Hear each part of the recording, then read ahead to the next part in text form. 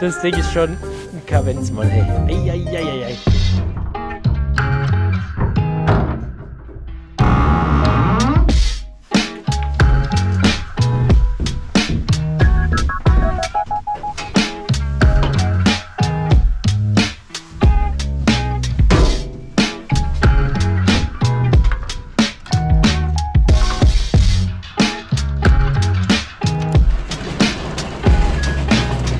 Eieieiei.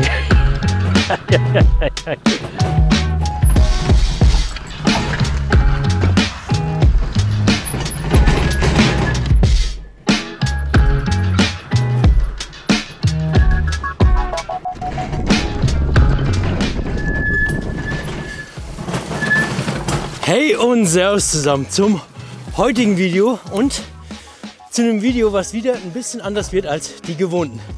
Ich habe ein neues Rad dabei, das kommt ja öfter vor hier auf dem Kanal. Allerdings seht ihr vielleicht schon hier von vorne und habt es im Intro gesehen, die Kiste ist vollkommen wild und ganz anders als alle, als alle Räder, die ich sonst in letzter Zeit vorgestellt habe. Ich bekomme sehr viele Anfragen aus Asien von allen möglichen Herstellern, ob ich denn denen ihre E-Bikes testen will, auf meinem Kanal vorstellen will und so weiter. Ehrlicherweise ähm, lehne ich eigentlich alle davon ab. Mache ich nie, passt irgendwie einfach nicht. Ich weiß nicht richtig, was ich, was ich mit den Kisten äh, so anstellen soll. Aber die Firma Hemiway ist hier auf mich zugekommen und hat gesagt, ey, wir haben das Zebra, hast du Bock? Wir schicken dir mal eins vorbei, kannst du ausprobieren. Ich habe da auch ganz, ganz, ganz lange überlegt, ob ich das überhaupt machen will, aber irgendwann gab es so einen Punkt, wo ich dachte, geil, ich habe ja einen Einsatzzweck für das Rad oder könnte es mir vorstellen, dass es da funktioniert. Und zwar ist es beim Trail bauen bzw. Trail pflegen. Ich habe dann so ein bisschen rumgebastelt, ähm, mir das so ein bisschen ausgestattet, dass es irgendwie passt und muss jetzt sagen, ähm, ja, es würde jetzt so weit gehen. Ich habe bisher noch nicht viel damit gemacht. Ich bin jetzt insgesamt fast 200 Kilometer damit schon mal gefahren. Aber auf dem Trail beziehungsweise für so ein bisschen Trailbuilding, Trailpflege und so habe ich das noch nicht benutzt. Von dem her, ich würde sagen, ich schnappe mir jetzt erstmal hier das Werkzeug, stelle das Hemiway an die Seite und dann mache ich mal dieses ganze Laub weg, was hier in den Anliegern liegt, äh, dass man hier sobald es warm wird, wieder perfekt fahren kann. Ich habe mir, was nicht standardmäßig war, hier hinten so ein paar Schellen dran gebaut an den Gepäckträger, um dann hier auch easy peasy Werkzeug zu transportieren. Hier habe ich noch so eine Kiste bzw. einen Anhänger von Himiway. Und ähm, ja, da kann ich Sand und so ein Zeugs reinpacken oder mal ein paar Steine, wenn ich irgendwo welche brauche. Boah, schauen wir mal, wie sich das schlägt im Einsatz hier, weil das muss schon ein bisschen was aushalten, wenn das hier im Wald am Trail bauen, am Trail pflegen ist. Alrighty, jetzt fangen wir mal an. Machen wir mal hier ein bisschen Klarschiff und ein bisschen Laub weg. Was ich auch noch interessant fand an der Kiste, weil ich gerade hier daneben stehe, ist im Grunde der Akku 960 Wattstunden. Fand ich dann schon interessant, weil damit ist auf jeden Fall einiges drin an Reichweite und man kann hier natürlich auch das Ding relativ gut nutzen hier zum, zum Basteln, zum Bauen. Was mir nur jetzt bei den ersten Metern schon aufgefallen ist, berghoch die sieben Gänge sind dann doch schon ah, knackig. Also da muss man schon ordentlich in die Pedale treten, dass da was geht. So, die erste Kurve haben wir schon mal laubfrei. Jetzt würde ich sagen, spannen wir das Ding drauf und fahren an die nächste Stelle, die relativ voll mit Laub ist. Let's go.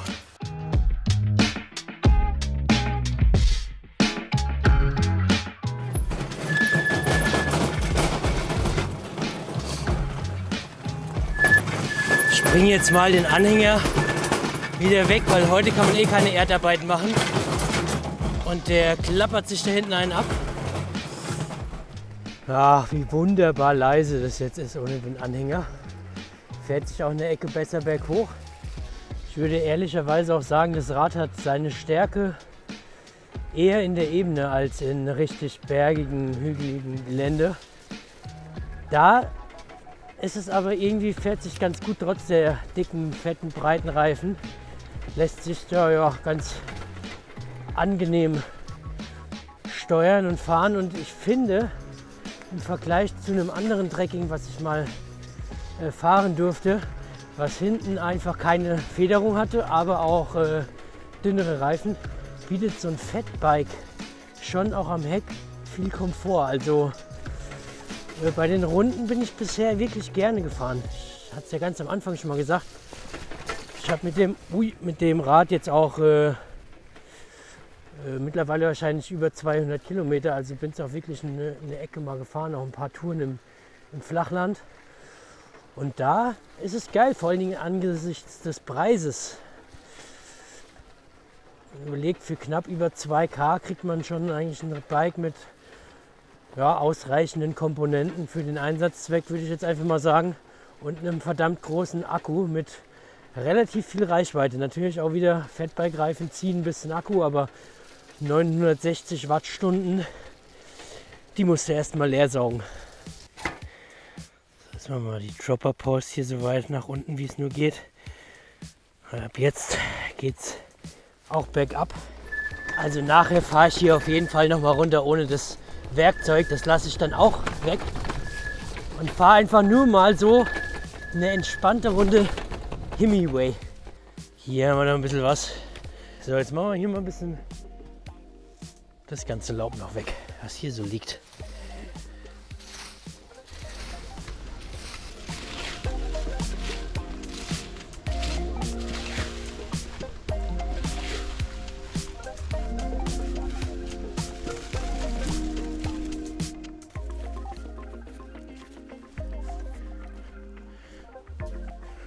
So, hier ist alles wunderschön gecleant.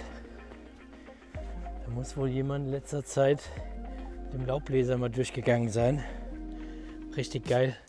Also sowas in der Art ist für Simiway auf jeden Fall schon mal nix. Auch wenn das hier ein kleiner, kleiner Drop ist, aber das Rad ist dafür auf jeden Fall nicht gemacht. Aber bisher kann ich auf jeden Fall nicht meckern, was so ja, die Haltbarkeit und so angeht. Also hatte keine Probleme bisher. Ist halt auch einfach kein absolutes High-End. Das sollte irgendwie klar sein. Und es ist ein anderer Einsatzzweck. Interessant ist hier der, der Nabenmotor, der hier hinten verbaut ist. Bin ich bisher auch ehrlich gesagt noch nie gefahren, sondern immer nur einen ganz klassischen, ähm, ganz klassischen Mittelmotor. Es sieht auch im ersten Moment so aus, als wäre hier ein Mittelmotor drin, ist aber nicht. Keine Ahnung, was die da reingepackt haben. Aber ja, ist hier ein Nabenantrieb. Fährt sich auch ein bisschen anders, hey. Das habe ich jetzt schon ein paar Mal gesagt. Das ist schon irgendwie ein bisschen ungewohnt, damit zu fahren. Aber wie gesagt, für die Straße, für Feldwege, Forstwege auf jeden Fall mehr als, mehr als ausreichend. Da unten wird jetzt erstmal getauscht, dann kommen die Schippen hinten runter und dann kann man hier auf jeden Fall auch mal ein bisschen entspannter nach runterfahren.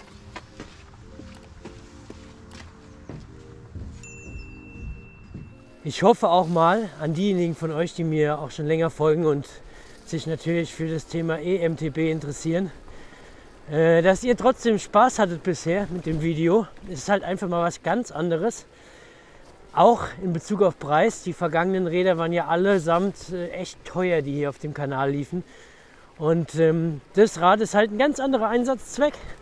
Wenn ich jetzt jeden Tag so Wege in die Arbeit fahren müsste, so Waldwege, die so ein bisschen hoppeln und äh, so 10, 15, 20 Kilometer oder sowas hätte und trotzdem Komfort will, trotzdem Licht, Schutzfläche etc. pp.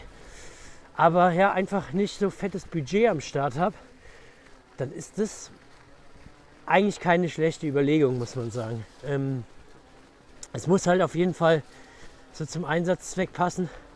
Es ist kein Trailbike, ist klar. Nichtsdestotrotz fahre ich jetzt auch mal ohne die Schaufel und ohne die Rechen über den Trail. Allein um zu gucken, wie läuft das Ding. Und ich habe es ja am Anfang schon gesagt und das ganze Video hat es gezeigt. Es soll ja bei mir auch ein Trailbilder-Bike oder Trailpflegebike sein, womit man auch mal einen Stein von A nach B transportieren könnte mal ein paar Meter weit oder ein bisschen Sand. Wenn du hier jetzt mitten im Wald bist, kannst du auch nicht mit dem, mit dem Anhänger, mit dem Auto irgendwie ran. Von dem her könnte es dafür schon ganz praktisch sein. Aber ist natürlich nichts für die Mountainbike-Runde. So durch den Matsch wühlt sich ja schon ganz lustig. So, jetzt muss ich aber noch mal ein, zwei Sachen pimpen. Das heißt ein, zwei Sachen. Jetzt muss ich noch mal schauen, dass ich den Sattel hier mal... Boah, guck mal. Guck mal, ein bisschen höher mache ich den. Ich habe sonst Angst, dass ich mich am Ende hinten auf diese Schellen irgendwie setze. das wäre schlecht und wahrscheinlich schmerzhaft, vermute ich mal. So, dann äh, wollte ich hier mal checken, dass soweit alles passt. Ja, ja, ist alles fest, passt. Federgabel kann man hier auch einmal sperren, dann geht nichts mehr. Und einmal öffnen, dann geht ein bisschen was. Und äh, ja, für die Abfahrt passt es. Hier sieht man noch mal Shimano Altus hier hinten, 7 Gang. Dicker, fetter Gepäckträger. Orange Schweißnähte. Das Ding ist schon ein Kavenzmann, hey. Eieieiei. Rollen wir mal rein in den Trail, würde ich sagen. Trotzdem immer noch mal ein bisschen entspannt. Boah, übertreiben müssen wir es auch nicht. Weil kaputt fahren will ich das Bike nicht. Und es ist ja offiziell auch nicht, äh, nicht für so Mountainbike-Stuff gebaut. Von dem her wollen wir das Ding auch nicht malträtieren. Wir heißen ja auch nicht Sam Pilgrim. Hier so in Kurven fühlt sich so das Fatbike krass an. Kommt es mir irgendwie vor, als ob du dich gar nicht richtig reinlegen kannst. Oh, den traue ich mich auch nicht, obwohl der nicht zu hoch ist. Oh, oh, Ui, den mussten wir mitnehmen. Eieiei. Da bin ich irgendwie drauf zugefahren, obwohl ich nicht wollte. den rechten nehmen wir auch nicht, aber den hier, komm, den nehmen wir auch mit. Mann, oh Mann, oh Mann, ist das nicht schwer? Oh.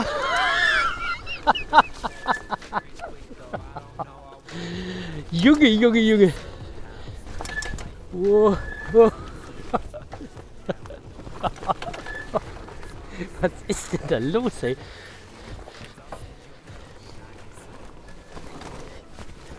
Überall schön laubfrei, hey. Perfekt. Jetzt muss es ein bisschen abtrocknen. Nur ein kleines bisschen. Das ist eigentlich schon fast perfekt. Und vielleicht muss man hier andere Belege reinbauen, die nicht ganz so viel quietschen. Aber Leistung hat die Bremse jetzt auch schon für das Ding.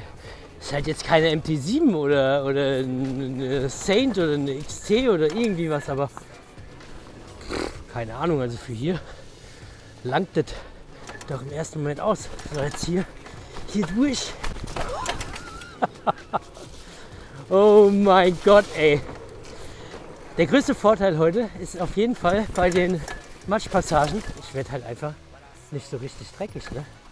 Ist schon auch geil. Boah. Uiuiui. Uiuiui. Auch wieder falsche Line. Mega geil.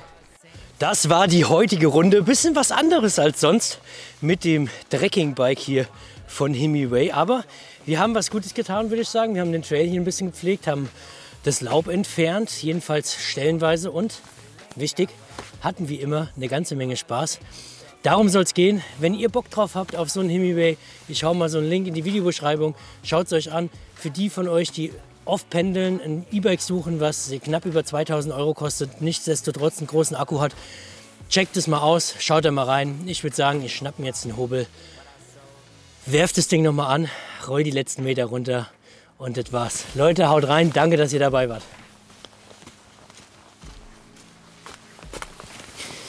So, komm, Ständer eingefahren und dann rumpeln wir nach unten. Ciao, ciao!